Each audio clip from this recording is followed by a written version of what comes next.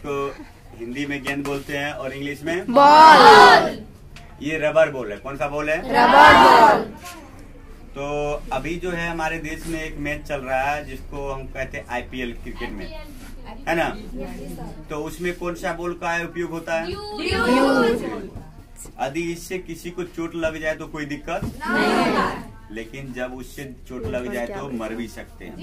है ना? ये रबर बॉल होता है। देखो अभी हम पढ़ रहे हैं बॉल चैप्टर है कि नहीं है? तो अब ये क्या है? बॉल। बॉल। कोई भी खिलाड़ी देखो उसका अलग अलग तरीका से बॉल पकड़ने का होता है। है ना? कोई ऐसे पकड़ता है कोई ऐसे पकड़ता है है ना? है ना? तो जैसे उसको बॉल करना होता है वो उस तरह तरीका से पकड़ता है। जब ये बॉल किसी बॉलर के हाथ में रहता है यानी गेंदबाज के हाथ में रहता है तो गेंद किस अवस्था में है? किस अवस्था में है?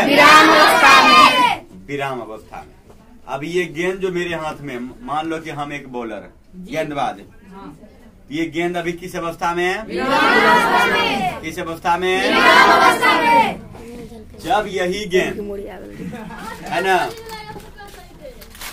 जब यही गेंद अभी हम रनिंग लेके ऐसे करके छोड़ते हैं।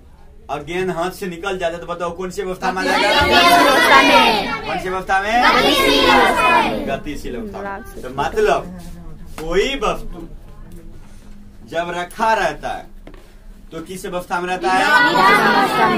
जब वो चल रहा होता है तो किस अवस्था में रहता है? उदाहरण के तौर पर समझो। अभी ये जो है स्पीच टेबल ये अभी किस अवस्था में? है विराम अवस्था। ये बोर्ड?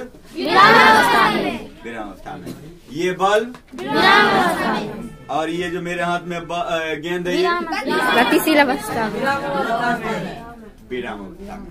तो इस तरफ़ अब मान लो कोई सड़क पे कोई गाड़ी चल रही है वो किस अवस्था में गतिशील अवस्था में। है ना? तो मतलब स्पष्ट हो गया सब लोग विरम अवस्था क्या है गतिशील अवस्था? समझ गया ना?